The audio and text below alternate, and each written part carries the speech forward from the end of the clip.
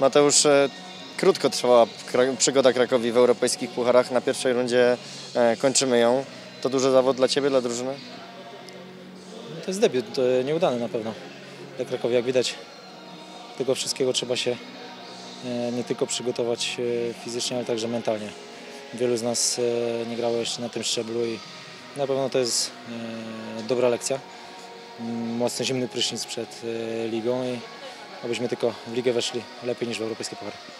Po tym no, nieudanym e, meczu w pierwszym e, w Macedonii liczyliśmy pewnie na udany bardziej początek tego.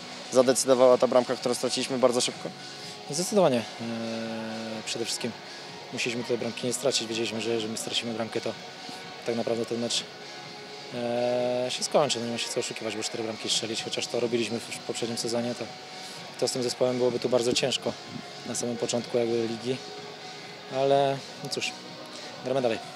Nie zacząłeś tego spotkania od pierwszej minuty, ale mimo to, jeżeli ktoś miał nadzieję jeszcze na to, że, że uda się odrobić te straty, to właśnie po Twoim golu na 1 do 1 to dla Ciebie szczególne trafienie w europejskich pucharach?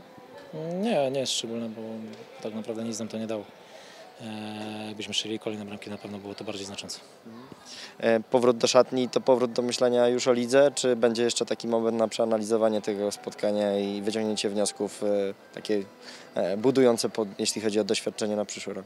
To na pewno wnioski trzeba wyciągnąć i przede wszystkim ocenić ten mecz później pod kątem ligi, jak się zachowaliśmy, w jakim jesteśmy miejscu, więc na pewno to jest lekcja przed kolejnym spotkaniem.